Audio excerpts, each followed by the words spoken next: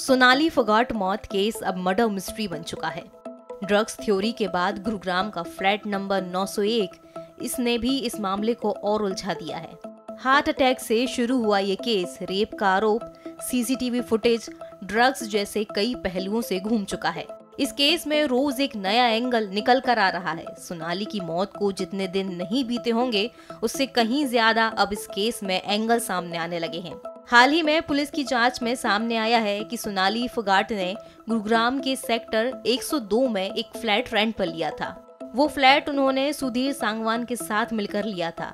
मिली जानकारी के मुताबिक सुधीर सांगवान ने जब ये फ्लैट रेंट पर लिया था तो वहाँ रह रहे लोगों को ये बताया था कि सोनाली फुगाट उनकी पत्नी है। बकायदा एक पुलिस वेरिफिकेशन भी करवाया गया था। बड़ी बात यह है कि इस फ्लैट में सोनाली फोगॉट गोवा जाने से पहले भी गई थी।